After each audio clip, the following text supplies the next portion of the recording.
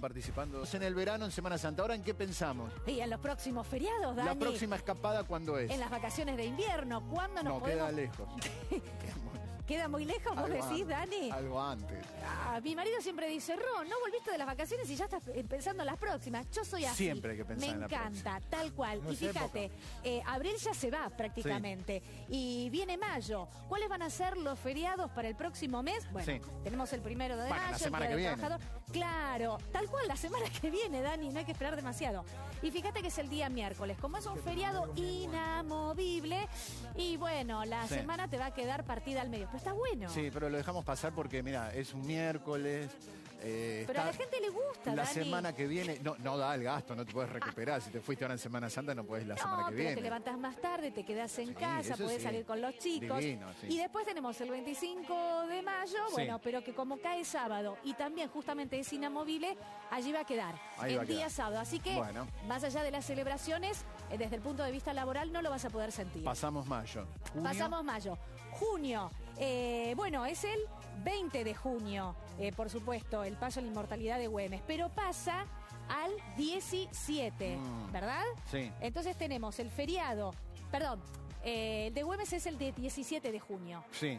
Y el El 20 que te hace un fin de es semana el de largo. Belgrano, exactamente. Aquí el 17 de junio vamos a tener, como también es inamovible, un fin de semana largo, mientras que el jueves 20 de junio queda allí. Ese pinta bien. Si no, Sí, ya pasa para las pero vos fíjate que tenemos una semana con dos feriados, Sí. el lunes y el jueves. Ah, está bueno. Ahí podés, eh, tenés que negociar los del medio, si es que querés hacer algo más largo. Bueno, vamos para adelante. En julio tenés el feriado, eh, bueno, el, del el 9 de 8. julio.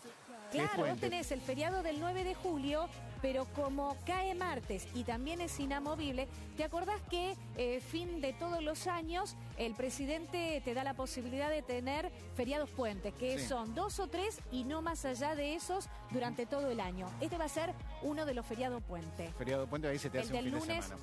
8 de julio. Bien y acordate que después de estas últimas dos semanas son eh, las vacaciones de invierno, ¿eh? Claro. En, en su mayoría, viste que hay algunas Sí, sí. provincias que la tienen las dos últimas semanas de julio y otras un poco antes, pero en Pero bueno, general ahí van a ser estas dos últimas. Tenés en julio, bueno, do- dos chances, vacaciones de invierno o ese fin de semana largo turístico. Exactamente. Bueno, seguimos. eh, Ah, tenemos todo el agosto. año, muy bien. claro. Vamos para adelante. 17 de agosto, que pasa para el lunes. Mm. También vamos a tener un fin de semana largo. Septiembre no tenemos ningún feriado, así Mm. que seguimos de largo. ¿Pasamos a octubre? Octubre. A ver, a ver, a ver, a ver. Bueno, el 12 de octubre, que también pasa el 14. Fíjate que estamos hablando de dos feriados Mm. que eh, están el día sábado y sin embargo pasan Sí. al día lunes. No son inamovibles. No estos. son inamovibles y por eso los pasan directamente al lunes para hacer fin de semana largo. Bueno, noviembre, Octubre, noviembre, lo mismo. el 20, que es el Día de la Soberanía Nacional, que también lo corren como es Ajá. movible al lunes 18 para hacer fin de semana largo. Y fíjate, en diciembre, que ya termina el año, mira qué y rápido ahí ya entramos en época de vacaciones. De época de Sí, vacaciones, ¿no? sí, tal cual, para muchos. Eh, bueno, el 8 de diciembre, el Día de la Virgen, que tampoco se mueve, con lo cual va a quedar en domingo. Y el 25 de diciembre, Navidad, que queda en miércoles. Lo que podés cambiar ahora en WhatsApp. Claro, ¿cómo lo podemos hacer desde la aplicación sin tener que bajar ninguna otra aplicación Sí. y no volvernos locos? Que es Sobre todo ¿no? cuando queremos mandar un mensaje en el cual queremos resaltar cosas específicas, poner alguna palabra en negrita, Sí, como por sí, ejemplo una dirección, un horario, si estamos mandando una invitación, por ejemplo, a nuestro cumpleaños. Festejamos nuestro cumpleaños, hacemos un mensaje genérico, lo mandamos a, a nuestros contactos a través de una lista de difusión y queremos resaltar algunos Eso se puede, como si Eso- estuvieses en la computadora del laburo, por ejemplo, que marcás con negrita y resaltás. Tenemos diferentes opciones dentro de la misma aplicación sin tener que descargar ninguna otra aplicación, sin Está tener bueno. que hacer ninguna cosa rara. Bueno, ¿Cómo tenemos vemos, que hacer? entonces. Abrimos el chat, por Yo ejemplo, no sabía que estaba esto en WhatsApp. Bueno, esta es, es una funcionalidad que está hace un tiempo, pero como uno, digamos, no lo, no lo utiliza tanto, si no sabes que está, que existe y que se puede hacer, terminás bajándote alguna otra aplicación Sí, no, y que es es, muy algo molesto. que tenés la, tenés la funcionalidad dentro de WhatsApp. Acá estamos Eh, nosotros. eh, esto es porque, bueno, cuenta. me voy mandando las fotos que sacamos, me, voy mandando de un chat al otro. ¿Cómo tenemos que hacer? Tenemos que hacer como si fuéramos a escribir el mensaje común y corriente. Escribimos el texto, por Dale. ejemplo, Qué buena hola. onda le pusieron los chicos el ¿Cómo- lunes. claro. ¿Cómo estás, por ejemplo? Bueno, no me, no me maté mucho, no vamos a pedir mucha creatividad en este momento de la mañana. De- tenemos el mensajito Sí. escrito normal. Y Eso vos ahí puedes enviamos, resaltar, por está ejemplo, el estás. Exactamente. O el Entonces, hola. por ejemplo, ahí yo resalto la palabra. Una vez que resalto la palabra, tengo que ir a las opciones. Las primeras tres opciones son cortar, copiar, pegar. Ah. Tenemos que ir a los tres puntitos. Muchos piensan que se limita a estas tres, que son las que te aparecen. Claro, esas son las más comunes. Una vez que vamos a los tres puntitos, tenemos todas las opciones que nos da WhatsApp. Una de ellas, por ejemplo, es poner en negrita. Entonces ahí el Mm. estás va a estar en negrita. Está bueno. eso. Otra de las opciones que tenemos es, por ejemplo, vamos a buscar, bueno, recién les mostré la negrita, tenemos la opción de cursiva, Mirá cuando vamos a queremos destacar alguna cuestión en particular. A ver, esta es la forma más fácil de hacerla. Sí. Hay otra que es utilizando códigos.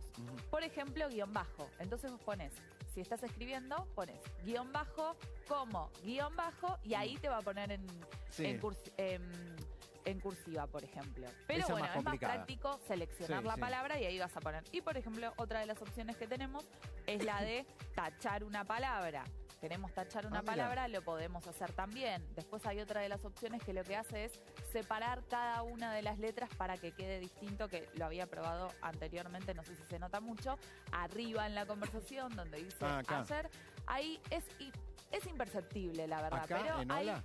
claro, hay una breve Sí, están más separadas. entre cada una de las letras que tenemos. Bueno. Pero bueno, estas serían unas opciones que tenemos con WhatsApp para no tener que descargar otra aplicación si queremos resaltar algo en particular de Ah, cada bueno. uno de los textos. Está bueno. Estaba la función diccionario también, que no tiene que ver con esto, pero estaba ahí También entre esas está la función diccionario en el Por caso no de que quieras escribir eh, un sinónimo, no sepas lo que significa una palabra, o quieras traducir alguna frase o alguna palabra Está específica. Bueno, ¿cómo viene la selfie? Muy bien, En este acá- lunes. Acá eh, tenemos justo las dos fotos que Sí. sacamos. La primera que es la que subimos, esta está Sí. bien. Esta y la que otra salió. es siempre la, la que falla, ¿viste? Tenés que publicar también.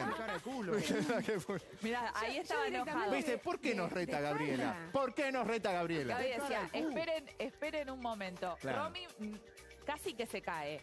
Alejo estaba ¿Por qué, Alejo? enojado porque decía que no salía, Que no pero salía. mira, está en el centro de la Esto es lo que pasa siempre en la selfie cuando la sacás. Decís, Claro. pará, che, no me Esto tienen en cuenta. Gabriela, decís, para hacer expectativa, realidad. Sí. Ahí tenés las dos no seas opciones. chiquilín, le está diciendo Gabriela, no seas Le estoy chiquilín. diciendo, ¿dónde no Para la salí? foto todos sonrientes. En el corte todos enojados. Yo creo que a la gente le gusta más esta foto que la otra. Sí, más- Tendríamos que haber hecho la competencia y ver, Ahora vos y cuál tenía más likes, ¿no? Acá tenemos eh, Mirá, la esa- esta es la que va que Tele- está prolijita, Claro, está linda, claro. Esto está sería si entramos en la cuenta de Tele9 en Instagram, Ajá. para los que recién se suman ¡Epa! y quieren. Ahí tenemos todos los likes Mirá. de la gente que se va copando, Vamos, los mil más. mensajitos. Vamos que a pedir mil más de una. mil más eh, ¿Likes? Me gusta, me gusta, vamos a pedir porque hay que ver, viste que los lunes siempre cuesta un poquito la mañana, pero sí, Sí. para mí si nosotros le decimos a toda la gente que nos está mirando, si todavía no nos dio un like y nos quiere dar un like ahora mismo, puede ingresar en la cuenta de Tele9